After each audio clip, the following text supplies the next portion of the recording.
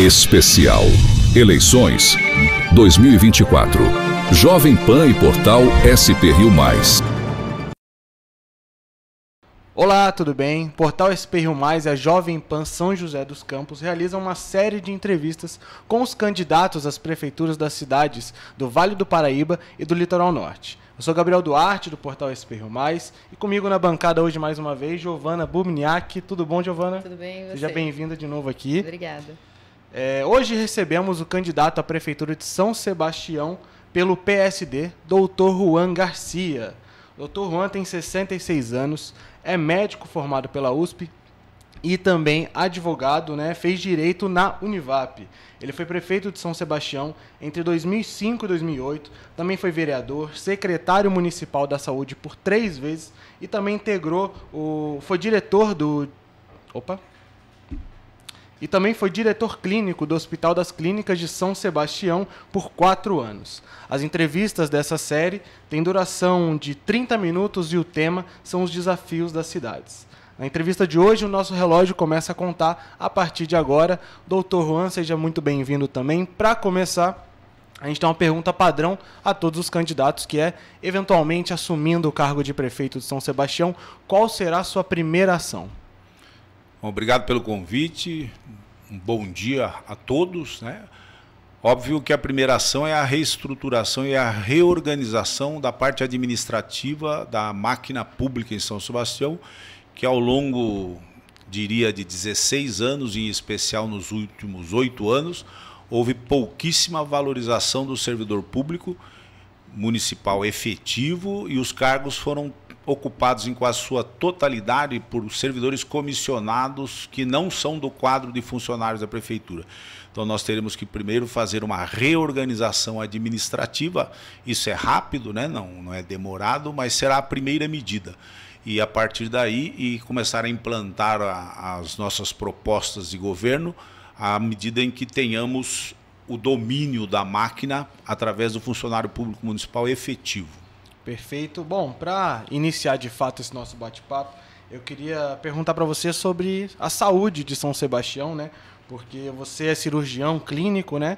É, em atividade desde 85, agora já aposentado, mas eu queria que é, você falasse sobre a sua exigência para a saúde municipal. Imagino que você tenha. Coloque o sarrafo lá no alto também pela experiência e consta no seu plano de governo a construção de um hospital municipal. Queria saber se você, como você pretende viabilizar isso, como conseguir verba para também implementar esse hospital.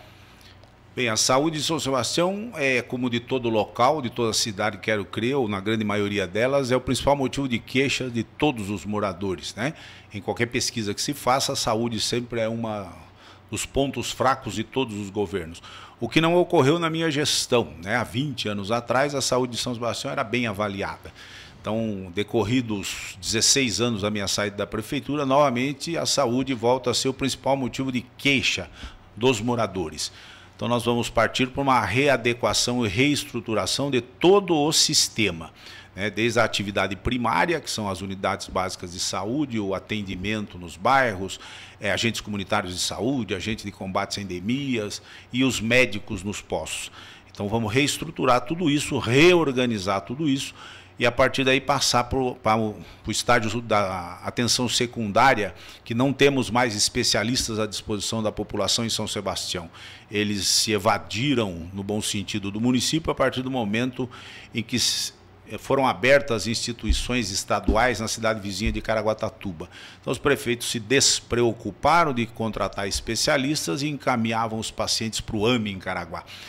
Então, nós vamos retomar os centros de especialidades médicas em três pontos da cidade, no norte, no centro e no sul, né? e partimos daí para um estágio um pouquinho mais avançado, que são as unidades de diagnóstico. Nós não temos em São Sebastião um centro de diagnósticos médicos para ser utilizado pela população. Endoscopia, ultrassom, ressonância, tomografia, tomografia exames, eh, os mais variados que a população tem que sair de São Sebastião para fazer em cidades vizinhas. Então nós vamos estruturar esse centro de diagnóstico, que é a proposta nossa antiga, E isso tudo concomitante, né? tudo para e passo. E ao final, né, ao longo de três anos, nós construiremos um novo hospital municipal. O Hospital de São Sebastião é da década de 40, trabalhei muito lá, operei muita gente, mais de 5 mil pacientes, e é um hospital que já não admite ampliações ou reestruturações, porque a sua dinâmica, né, a sua estrutura física já é muito precária, né, não, não, não comporta mais. Então nós tomamos como prioridade que nós precisamos de um hospital adequado ao momento atual. E já em 2008, em 2005, eu propus a construção de um novo hospital municipal. É, aquela época, o orçamento era de 50 milhões de dólares. Só que o orçamento da prefeitura anual era de 50 milhões de dólares, então era praticamente impossível que eu concluísse. E fui pedir, inclusive, ajuda a Transpetro, lá no Rio de Janeiro, porque lá está o maior terminal petrolífero da América do Sul, ou do hemisfério sul do globo terrestre, lá em São Sebastião. Agora não, custam os mesmos 50 milhões de dólares, que são 300 milhões aproximadamente de reais, só que o nosso orçamento hoje é de 2 bilhões e meio ano. Então, seguramente nós poderemos é, otimizando recursos e determinando prioridades em obras públicas, em três anos, gastando uma média de 100 milhões ano, não é nada proibitivo, é 5% do orçamento, nós poderemos edificar o prédio que eu sonho para a nossa cidade. Então, não vai ser nada difícil que a gente possa concluir o hospital num intervalo de três anos. Perfeito, Giovana, por favor. Candidato, eu fiquei curiosa e eu queria perguntar o seguinte: é, o senhor já foi prefeito de São Sebastião, né? Como bem a gente falou aqui, secretário municipal de saúde, vereador, enfim, diretor clínico do hospital. Eu queria saber por que voltar neste momento. Sim, porque eu tenho aquela sensação de que eu não cumpri a minha meta, né? Por quê? Quatro anos de gestão, embora o povo pense que é um, é um período de tempo extenso, não é. Porque o primeiro ano de governo você, infelizmente, trabalha com o orçamento deixado e com os compromissos assumidos pelo governo anterior. Então você tem no terceiro, segundo, terceiro e quarto anos, você tem que desenvolver seus projetos, viabilizar recursos e começar a aplicar. E eu nunca pensei em fazer a administração como política de governo. Eu tenho interesse em que as políticas públicas propostas sejam políticas de Estado. Então elas precisam ser formuladas e precisam ser iniciadas e trabalhado aquilo para que nenhum governo a posteriori venha interromper serviços públicos. Né? E eu tenho a sensação que durante os meus quatro anos nós fizemos grandes investimentos estruturantes no município, abrimos sete creches na Costa Sul, fizemos um é, obras maravilhosas que estão até hoje lá, como a urbanização do Aterro e da Rua da Praia. Fizemos coisas inovadoras na parte social, com projetos sociais esportivos e esportivos. Né? Criamos várias funções que o poder público não tinha no seu quadro de servidores, como agente comunitário, agente de combate a endemias, e, e era preciso que isso se, se aplicasse num tempo maior para que as coisas não fossem interrompidas. Cito como exemplo, né, quando eu iniciei o projeto de regularização fundiária ao longo de todo o município, né, que congelamos e tentamos impedir é, a duras penas que o município crescesse de maneira desordenada, porque isso significava perdermos a nossa grande, o nosso grande tesouro, que é a natureza em São Sebastião, mata, rios e mar. Né? Hoje nós temos todos os rios da cidade contaminados por esgotos e há um, um, crescimento que invade áreas de conservação e as pessoas moram em áreas de risco. Então eu não tive tempo suficiente para que isso se tornasse uma política pública efetiva, porque o que me sucedeu fez exatamente o contrário, determinou que as pessoas invadissem o que bem entendesse e construíssem onde bem entendesse. Isso criou para São Sebastião um transtorno brutal, cresceu desordenadamente e o, o, o ápice foi no verão passado, em fevereiro do ano passado, quando uma chuva levou de São Sebastião 65 pessoas que morreram por deslizamentos em áreas de risco. Ou seja, a política não seguiu o tempo necessário e suficiente para que isso fosse admitido como uma política de Estado, né? Se, se impedisse o crescimento desordenado de São Sebastião e se oferecesse moradias populares em áreas seguras. Então eu volto para eu reiniciar, né, talvez seja esse o termo, tudo aquilo que nós propusemos lá em, há 20 anos atrás e agora numa condição financeira muito mais favorável do município. Nós trabalhávamos com 250 milhões de reais ano e agora nós temos 2 bilhões e meio ano. 10 vezes mais orçamento para uma população que cresceu pouco mais de 10%. Ou seja, dinheiro público bem investido nesse montante, nós conseguiremos, conseguiremos rapidamente resolver problemas estruturais do município. Então, por isso que eu volto. Não é possível que numa condição privilegiada como São Sebastião está hoje, financeiramente, não por gestão de prefeitos, mas por causa que a legislação nos favoreceu, em especial a dos royalties do petróleo, e que a gente não aplique isso de maneira consciente e que traga benefício para a população. Eu considero que eu talvez tenha demonstrado nos meus quatro anos a responsabilidade administrativa que temos com a cidade. Por isso eu volto. Candidato, o senhor tocou num ponto importante agora, que é os royalties do petróleo. Depois de um grande conflito com Ilha Bela, São Sebastião recebeu sua parte dos royalties, né? E esse dinheiro ajudou a cidade a se reconstruir depois da tragédia do Carnaval de 2023. É, eu queria saber de vocês, primeiro, se a situação toda com Ilhabela está pacificada e também se essa, essa comunicação, essa conversa com as demais cidades do litoral é, é possível para estimular o turismo e as cidades não, não é, se encararem como inimigas, mas sim como amigas, né, como colegas, uma do lado da outra. Sim, grandes temas é, envolvem todas as cidades do litoral norte, em especial coleta e destino final de resíduos sólidos, por exemplo, em especial roteiros turísticos, em especial exploração do grande é, potencial da nossa região, que é o turismo. Então isso terá que ser discutido com as quatro cidades, como eu iniciei lá 20 anos atrás, quando eu de maneira é, atrevida, digamos assim, eu convoquei todos os presidentes de Câmara e to, convoquei não, convidei, né, os presidentes de Câmara e os, pre, e os prefeitos das quatro cidades para que discutíssemos a implantação de um aterro regional de lixo, né, porque nos é muito caro, extremamente dispendioso tirar o lixo da nossa região e ter que remetê-lo para as cidades aqui do Vale do Paraíba. Então eu fiz essa proposta, não evoluiu, obviamente, né, porque nenhum nenhum administrador quer ter na sua cidade um aterro sanitário, teoricamente, mas é um tema que deve voltar à discussão, porque agora os valores estão ficando proibitivos, né? E em breve, não, não há um, um hiato temporal definido, mas em breve algumas cidades recusarão a receber o lixo das demais, né? Então eu entendo que esse essa briga entre São Sebastião e Abela, no bom sentido, porque ela é jurídica, não pode ser levada para o lado pessoal, é, ela não encerrou ainda. Né? Houve uma pacificação de que São Sebastião faz jus aos royalties do petróleo de exploração, que é lá no mar, lá fora, e que os marcos geodésicos apontam para São Sebastião. Isso está, é, em tese, é, definido. Mas o prefeito da Ilhabela atual, por exemplo, que apoia um candidato em São Sebastião, ele diz que não vai cessar de brigar com São Sebastião. Então eu entendo que esse é um fator de preocupação que deveria estar na cabeça dos munícipes de São Sebastião, que se o prefeito da Ilhabela consegue colocar em São Sebastião um candidato seu, talvez haja aí uma conversa meio estranha e que possa facilitar o acesso da Ilhabela sobre os royalties que São Sebastião conquistou. Então, eu me posiciono contra isso, a interferência dos municípios na gestão das demais cidades. Isso é tão evidente que já não se fala outra coisa em São Sebastião. Né?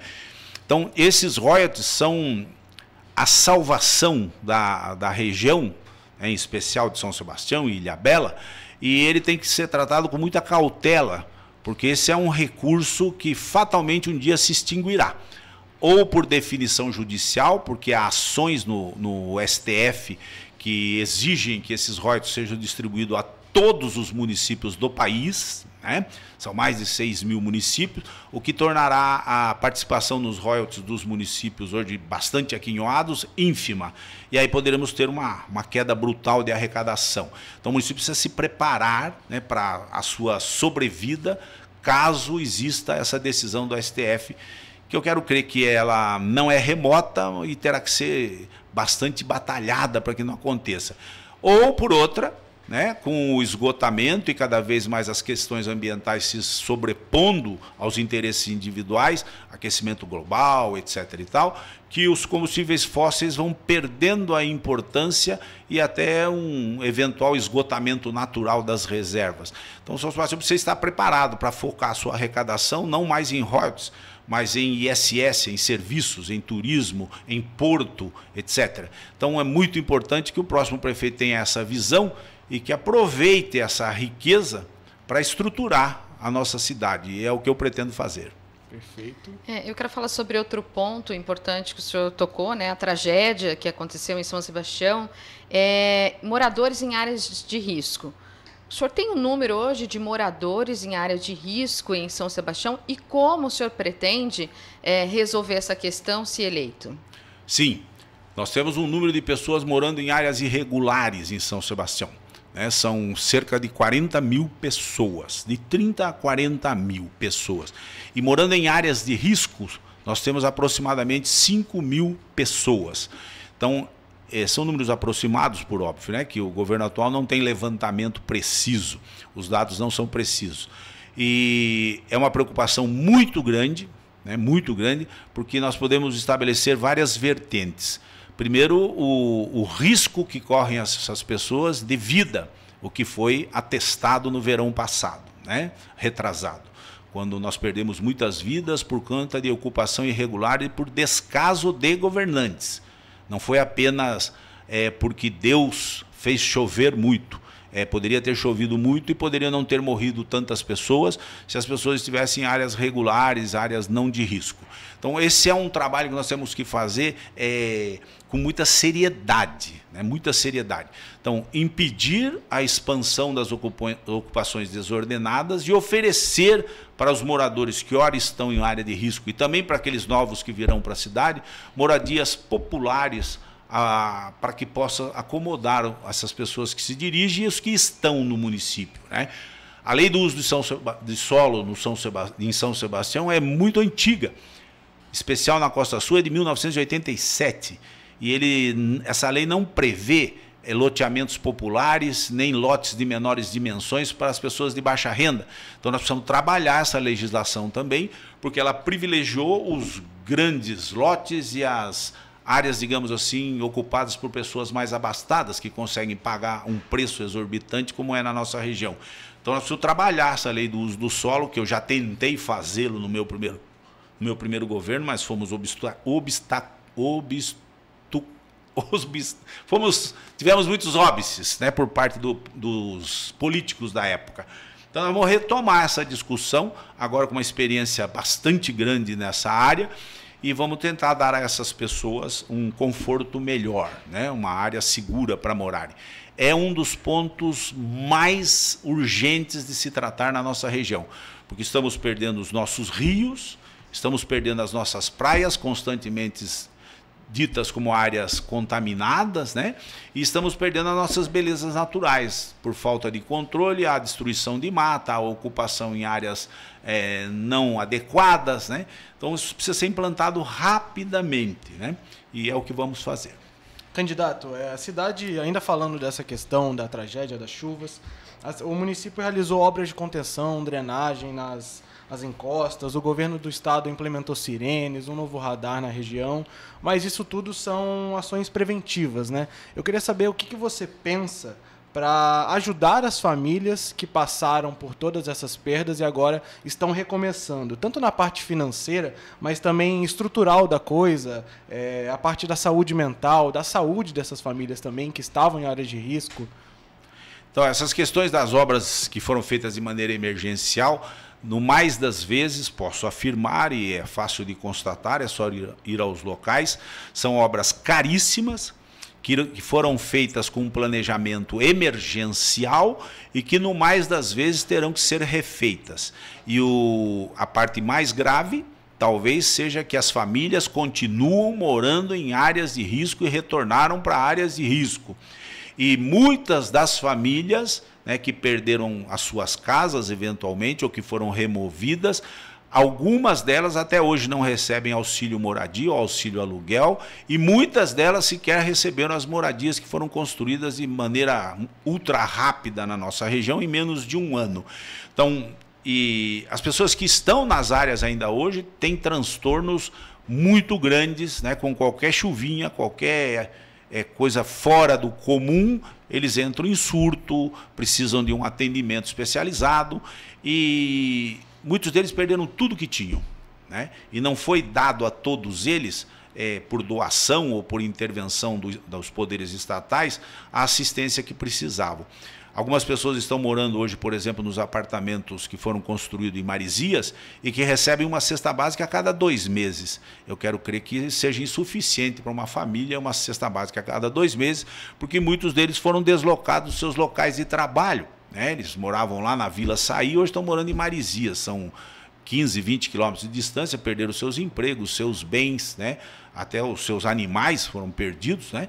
Então a gente tem que entender que o governo tinha que estar mais próximo dessas pessoas, né, auxiliando-os e num conceito mais além da pergunta, dizer assim, é, é muito ruim quando as pessoas moram numa localidade, estão acostumadas, têm os seus empregos, a sua escola, a creche, sua família se habituou àquela região e de repente você a transporta para um bairro mais distante. Né? Tudo na vida da pessoa muda. Então surgem problemas que o poder público, eu quero crer, não se preocupa com a devida necess... é, intensidade que isso requer. Então nós vamos rever isso aí, discutir com o governador, que é parceiro do, do PSD, do nosso partido, o PSD ajuda a governar o estado de São Paulo, que próximas moradias populares que sejam feitas é, o mais perto possível do local de onde as famílias terão que ser removidas eventualmente, porque causa menos transtornos sociais. E que não sejam construídas grandes aglomerados de apartamentos onde ficam 3 mil, 2 mil pessoas, porque isso, em essência, na nossa região é um novo bairro né, um novo bairro dentro de um bairro que já tem déficits de atendimento. Então essas coisas precisam ser revistas e com muita seriedade, porque não, senão a cada passo que dermos nós vamos criar novos problemas. Né? Só para finalizar esse assunto, é, considerando a tragédia, é inegável que a cidade ficou marcada, né? Foram Sim. mais de 3 mil desabrigados, 64 mortos. É, como tirar esse sentimento de luto da cidade? O que, que você planeja é, passar para o município, eventualmente sendo prefeito, é, para tirar esse ranço, essa coisa ruim? É, essa parte psicológica, né? Nós não conseguiremos cicatrizar nunca. O que nós temos que fazer é que as pessoas entendam que estão sendo protegidas pelo poder público, não estão sendo é, não estão sendo retiradas da, da realidade, mas que se sentem a partir de agora amparados. Então, projetos sociais bastante grandes nos bairros, né, que são nossas propostas, a construção de grandes centros comunitários para acomodar os jovens, acomodar os idosos, trazê-los para um, um convívio saudável. Porque, de toda sorte, as pessoas colocadas nessas áreas digamos assim, de difícil acesso, né, eles têm um isolamento, eles têm uma tendência à depressão muito grande, porque eles chegam em suas casas e pouco ou nada têm que fazer e ainda ficam esperando um, alguma alteração climática que possa tirar-lhes a vida. Então nós temos que entrar dentro desses bairros, dando a eles atividades saudáveis, que os envolvam, que os protejam. Por isso que a gente tem propostas como, por exemplo, a Casa Dia do Idoso nessas regiões, né? para que os, os pais de família possam ir trabalhar e o, tanto os idosos, né, os velhinhos, como eu carinhosamente chamo, né, porque eu já sou um, é, os velhinhos possam ter um local onde fiquem como se fosse uma creche, né? onde você o deixe de manhã e o retire ao final do dia, alimentado, com atenção psicológica, com, com atividades lúdicas, etc. e tal, e que isso cria um outro clima, uma outra motivação dentro da comunidade. Então, entrar com projetos sociais de, de grande abrangência dentro dessas comunidades e amparados tecnicamente, né, pelo suporte médico e paramédico necessário. Maravilha. Candidato, quero falar sobre mobilidade e destacar dois pontos. É, dentro do seu plano de governo, o que, que o senhor pensa como alternativa para melhorar o acesso ao Porto de São Sebastião, que eu acho que é um problema na cidade, e também a travessia de balsas? Entra ano, sai ano, toda temporada é a mesma coisa. Sim. a, o novo acesso ao Porto de São Sebastião, né, o tal contorno, o, a fala inicial é de que seria uma, um acesso para atender ao Porto de São Sebastião. Só que aí se, se imiscui em duas situações, né? É o acesso ao porto e o movimento turístico. E agora podemos colocar um terceiro ente, que é a travessia da balsa, que também a maior parte do fluxo será feita pelo contorno. Então eu desde o começo é, critiquei é, de maneira construtiva que um acesso ao porto de São Sebastião, para onde trafegarão caminhões, porque nós não temos transporte ferroviário, que esses caminhões tivesse, tivessem previsto no projeto do contorno que houvesse estacionamento para caminhões, para que eles não se concentrem sobre a estrada. É, exemplifico dizendo assim: se um navio parado no porto precisar de 200 caminhões e a descarga tem que ser rápida, esses 200 caminhões ficaram enfileirados em cima do contorno porque dentro da malha urbana não será permitido que fiquem, né, por óbvio. Né? Então ficará em cima do contorno. Então uma das pistas será para estacionamento de capinhão. Então você suponha que isso aconteça num grande feriadão e que a fila para Ilha Bela, que também é quilométrica e que vem pelo contorno, ocupará outra faixa. Então, o que sobrará do contorno? O acostamento, talvez. Né? Então, precisa rapidamente o governo do estado oferecer quais são as alternativas que tem para os caminhões, né? para o fluxo de veículos para o porto e do fluxo de veículos para, o, para a balsa. Porque já há anos e muitos anos a fila da balsa causa um transtorno tremendo para o centro histórico de São Sebastião. Praticamente divide a cidade em norte e sul e fica quase intransponível em algumas épocas, né? Então eu proponho que a gente faça gestões sobre o governo do estado, por exemplo, na travessia, para que a travessia se modernize. Então as balsas são antiquíssimas e os atracadouros também são antiquíssimos. Então não adianta ampliar mais um pedacinho ou pegar mais uma balsa velha, reformar e colocar para a travessia, porque com qualquer vento elas param, com qualquer corrente mais forte elas param e as filas ficam de 3, 4 horas veículos estacionados. Então, há que se fazer gestões junto ao governo do Estado para que eles tenham uma modernização, tanto das balsas quanto do sistema de embarque e desembarque. É difícil isso? Não, não é difícil, porque esse problema não é propriamente uma solução que o município apresente, porque essa travessia é quase que uma continuidade do contorno que será entregue agora. Então o Estado terá que ser mais ágil. E nós vamos cobrar isso com, com bastante intensidade, porque do ponto de vista de mobilidade urbana, nós temos um, um, transtorno tremendo com essa fila da balsa. E agora será crescido com a fila dos caminhões.